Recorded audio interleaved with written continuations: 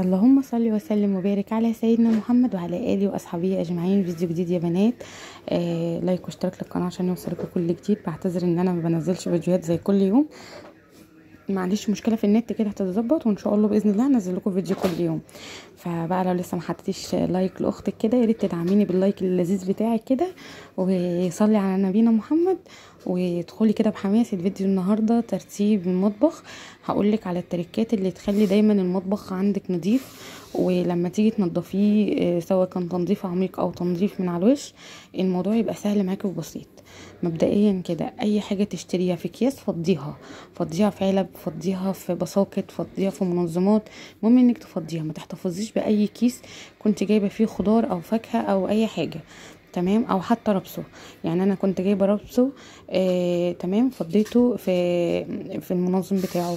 آه برضك آه اللي هي معطر الأرض فضيته في المنظم بتاعه.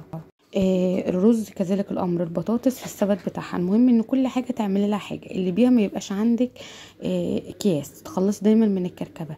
أكياس إن أنت شايفاها إن أنت هتنفعي تعيدي تدورها تاني. آه تعيدي تدورها إزاي يا آية؟ آه إنك أنت تحطيها أعزكم الله في بساقه الزبالة بتاعة الغرف. آه اللي هي مثلا الاكياس اللي بتقدري ليها محملة شوية كده. فتقدري إنك أنت تحطيها في basket القمامة مرة تانية. فدي ممكن تحتفظي بيها بشكل كويس وتحطيها في منظم لوحدها عشان لما تحبي تستخدميها تاني آه تستخدميها بكل سهولة. إنما الكيس اللي تلاقيها اتقطعت طبعا بترميها على طول وتوفري على نفسك الوقت والمجهود. ده lunch box كده بحب أخزن فيه الفلفل والليمون. وساعات كمان بخزن بدل الفلفل بحط خيار. على حسب المتوفر عندي. أنا المرة دي ما جبتش خيار جبت فلفل تمام؟ فحطيته كده في ال lunch box حطيت الفلفل من تحت والليمون من فوق. طيب اللي بيحفظ الخضار لفترة طويلة؟ المناديل. المناديل بتمتص الرطوبة بتاعة الخضار فما بتخلوش يبوظ بسرعة. تمام؟ آه فكرة ال lunch box فكرة كويسة جدا إنك انت تستغلي ال lunch box بتاع أولادك مثلا. تمام؟ بدل ما هو متركن في الدواليب كده واخد مساحة تقدري إنك انت تستغليه وتستخدميه في تخزين الخضروات بتاعتك. تمام؟ آه بالنسبة كمان بقى لأي كيس فيه أي أي حاجة هتستخدميها مثلا مكرونة رز أي حاجة حاولي تفضيها في علب. طب ليه علب؟ اولا بتبقى بتحافظ على الحاجة اللي أنت حطاها في المنظم ده فترة طويلة. تمام؟ ما تبص ما, ما تسوسي ما يجرالهاش أي حاجة. دي نمرة واحد. نمرة اتنين ما يبقاش في عندك كمية اكياس مفتحة. تيجي تسحبي حاجة من الرف تلاقي نفسك الرف كله واقع على دماغك. دقيق على رز على كده. لا لما يكون كل حاجة في المنظم بتاعها البيت بيبقى سهل التنظيف. بمجرد إنك أنت مثلا ممكن وأنت بتعملي حاجة تلاقي نفسك إيدك جت على الدرج ده مسحته ورجعته تاني مكانه. لما تيجي بقى تعملي التنظيفة العميقة هتبصي تلاقي نفسك اوريدي ما عندكيش أي حاجة محتاجة مجهود. هي هتبقى مسحة بس خفيفة للدواليب من بره. لكن اوريدي إيدك في الدواليب من جوه تلاقيها دايما مترتبة ومتنظمة. حاولي تختاري candy كبير للملح علشان الملح ده أكتر حاجة بنستخدمها طول اليوم. فأنا بصراحة استريحت لل candy اللي هو على شكل شجره الكريسماس ده عجبني واستريحت له فبقيت بستخدمه للملح. طبعا لو بتجيبي أكياس سمنة أو بتجيبي سمنة مثلا سايبة يفضل إنك تفضيها بردك في علبة. تمام؟ آه السكر. حاولي تعملي candy كبير للسكر أو برطمان كبير للسكر في آه كيلو السكر كامل. ومثلا عشان لو هتعملي وصفة مثلا زي كيكة أو حجازية أو أي حاجة محتاجة سكر ياما وتخلي معاكي سكرية كده صغيرة على الرخامة لاستخدامك اليومي اللي هو بتاع الشاي والقهوة والحاجات اللي انت مثلا ممكن تشربيها طول اليوم. تمام؟ آه دي برضك من المنظمات اللي اللي, اللي هتريحك جدا. المنظمات دي مش غالية آه والتيكت اللي عليهم معرفك كل كاندي جواه إيه. يعني لو انت مثلا فردا فردا مش موجودة أو تعبانة ومثلا أختك ولا حد مثلا جه يساعدك هيبص يلاقي كل حاجة منظمة وكل حاجة مكتوب عليها فمش هيتعب ولا يحتار ولا هيحتاج إن يتعبك ويقومك من مكانك.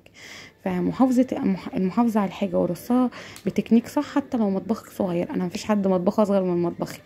بس في نفس الوقت بدل كل حاجة مترتبة كل حاجة ليها مكان هتلاقي حياتك كلها مرتاحة. كمان عايزة أقول لك على نصيحة. لما تجيبي بردك بسكوت حاولي بردك تفضيه خصوصا لو بتجيبي باكيت كده شبه اللي أنا جايباه. بفضيه في الكاندي وبنستخدم بناخده منه على الاستخدام. آه عايزة أقول لك كمان على نصيحة آه إنك انت لما آه تحطي حاجتك في برطمانات هتبقى بالنسبة لك الراحة اللي ما بعدها راحة هتدعيلي عليها. طب ميزانيتك مش سامحة إنك انت تجيبي برطمانات ممكن تستخدمي البرطمانات بتاعة المربى بتاعة العسل أي برطمان إزاز تقدري إنك انت تعيدي تدوره من جديد وتستخدميه في البقوليات بتاعتك. تمام؟ هتحافظي عليه وكل حاجة. لو عندك بقى تلاجة أو تلاجة مية حاولي دايما برضك إنك أنت تمسحيها وتنضفيها. تمام؟ كمان dispenser الأكواب ده هيريحك جدا خصوصا لو عندك أطفال. آه، مجرد إنك أنت تحطي فيه ال- الكوبايات هيسحبوا منه ويشربوا بدل ما تجيبي كوبايات إزاز وتتكسر وكده. تمام؟ تمام. آه، فكرة كمان ممكن تحطي ال dispenser بتاع الأكواب ده جنب التلاجة ذات نفسها لو تلاجتك فيها حنفية. هتبقى سهل إنك أنت تاخدي الكوباية وتسحبي الكوباية من ديسبنسر الأكواب وتشربي على طول.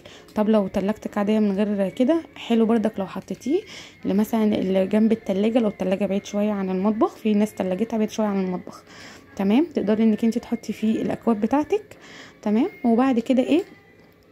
اللي عايز مثلا مية يسحب كوباية يشرب ويودي كوباية على المطبخ. آه كمان لو بتجيبي أكياس لبن آه سايبة طبعا السايب بنغليه ونحطه في الكسرولة. إنما لو بتجيبي أكياس بخيره تمام الكيس بخيره بيبقى طبعا لما بيتفتح بيبهدل التلاجة.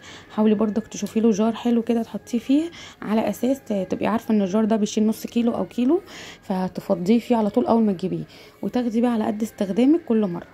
هنا كده كنت غسلت البامية الويكة اللي أنا اشتريتها وأخدت منها كمية اللي أنا آه، هبتدي اللي أنا آه، أستخدمها وكمية تانية حاططها في علبة زي ما هي من غير ما أشيل منها أي حاجة وبحطها في الفريزر. وبطلعها على الاستخدام ببتدي إن أنا أخرطها وأحطها في الشوربة على طول. تمام؟ بتبقى النتيجة دي بتخلي الويكة معاكي لونها أخضر ليموني كده بتبقى فاتحة جدا وجميلة. تمام؟ جربي الطريقة دي هتعجبك. عندي عندي برضك حاجة عايزة أقولها لك أو تريكة عايزة أقولها لك. لو انت عندك آه، ميكرويف حاولي برضك إيدك فيه 24 ساعة خصوصا لو بتستخدميه باستمرار. يعني إيه إيدك فيه يعني تغسلي الطبق بتاعه وتغسلي الغطا بتاعه لو جايبة له غطا تمام؟ آه الغطا بيحمي الميكرويف آه من الطرطشة. لو بتحطي مثلا فيه أكل مثلا يتسخن بيحميه من الطرطشة وبينضفوا لك جدا من جوه. تمام؟ كمان لو انت لسه عروسة بقى وبتعملي في مطبخ يعني من رأيي ليكي أنا عملت الموضوع ده لسه من قريب بس نفعني جدا. إن يكون ليكي درج آه، تحت البوتاجاز لو بوتاجازك built in طب يا بوتاجازي بوتاجاز عادي يبقى دايما جنبك آه، درج كبير بمساحة كبيرة آه، درج soft صغنن كده تكون مساحته مساحة كبيرة. على أساس تحطي فيها كل الاسباتيولات ولو كمان فاض ركن كده صغير تقدري أو تعملي درج تاني جنبيه منفصل للبهارات. هيوفر عليكي جدا مش هيخلي عندك ال candy بتاعت البهارات تبوظ ولا تلزق آه، من الدهون بتاعه البوتاجاز. فبصراحة إنك أنت تسيبي رخامتك فاضية ده من أحسن الحاجات اللي أنا بصراحة جربتها وعجبتني. ده كده بيكون شكل المطبخ بتاعتي رخامتي فاضية خالص مفيش غير ال kettle هنا فوزه صغننة وهنا ال candy بتاع الملح البوتاجاز بتاعي الفرن والميكرويف تحت بعضيهم تمام. أنا فاتحة هنا الرف دوت علشان آه، آه، كنت حاطة الفيشة بتاعة الفرن فبحب أفتحه لما يكون الفرن شغال يعني عشان أدي تهوية وكده للمكان. ده كده شكل المطبخ بتاعي. طبعا حاولي كمان تحطي راديو صغنون في المطبخ يونسك تسمعي عليه إذاعة ال- إذاعة القرآن الكريم بتفرق جدا جدا في النفسية.